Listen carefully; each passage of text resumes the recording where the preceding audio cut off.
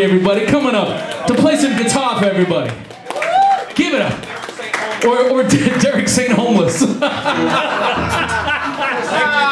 I like that. That's good. That's good. Anyway, here's a song that you guys have heard a million times. I love this song. It's one of my favorite songs. As a matter of fact, I remember being a kid in the 70s and opening up this live album and going, damn, that guy's a great bass player. If one day I could play like him, oh my God. That guy's name is Craig MacGregor. The band is Foghat. Yeah. Greatest sideburns yeah. in rock and roll. Greatest sideburns in rock and roll. Absolutely. Now, when Foghat played with Ted Nugent one, one time in Minnesota a couple of years ago, about four years ago, I went up to Craig MacGregor after the set and I said, Hey, Craig, uh, how you doing? Uh, my name's Greg Smith. I play with Ted. He goes like this, slaps me in the back and goes, I know who you are, man. Great to finally meet you. And I was like, me? He knows me? Me? so, the kid, the kid who was looking at that album cover got a little, uh, little bit of a attaboy that night, and that was kind of cool. Anyway, so.